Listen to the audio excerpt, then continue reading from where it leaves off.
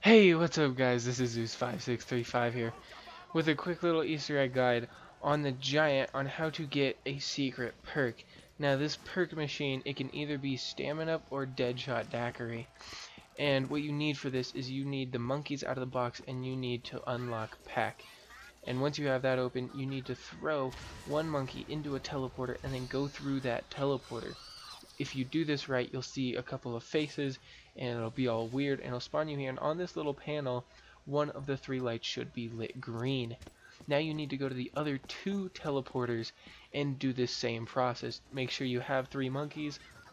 It should look the exact same. You'll get the two faces while you're teleporting and you'll end up and you should have a second light green and go ahead and go over to the last teleporter do that one it should do the exact same thing. Make sure you do all three teleporters. You can do it all in one round.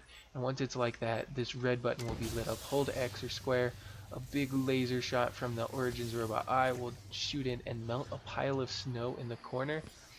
And that will actually unreveal the machine right there. As you can see, I got Deadshot Daiquiri.